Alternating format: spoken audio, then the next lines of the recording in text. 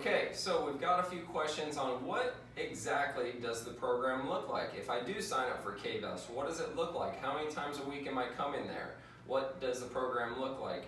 So this is essentially like a golf lesson, right? We wouldn't go get a golf lesson once a month and expect to get significantly better consistently if we're only going once a month. Usually what people do is go once a week to get a golf lesson. So it really depends on how avid you want to be with this thing. With this thing, we're not giving golf lessons the way traditionally you get it. So traditionally, the golf pro tells me something, I have to interpret what he's telling me, regurgitate it and try to figure out how to put it back out, trying to figure out how to perform what he's telling me to do. With this thing, we're bypassing that whole system in the body. What we're doing is, I'm not telling you to do anything.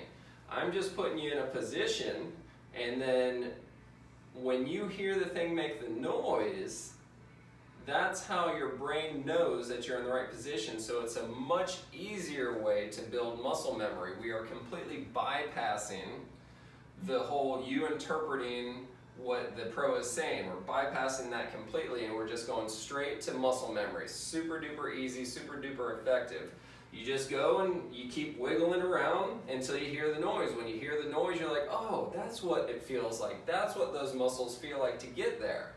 So for success with that, generally the more times per week you do it, the quicker it's gonna happen. So generally what we have is people that come two to three times a week, they come in here for 30 minute sessions. All sessions are 30 minutes. 30 minutes is plenty of time on this thing because you're getting muscles working.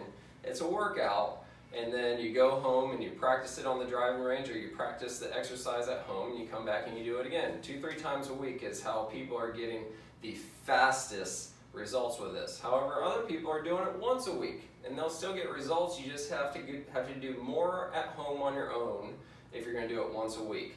So that, in a nutshell, is how we get faster results through biofeedback is because we're bypassing the whole interpretation thing. Muscle memory, super easy, super effective. Boom!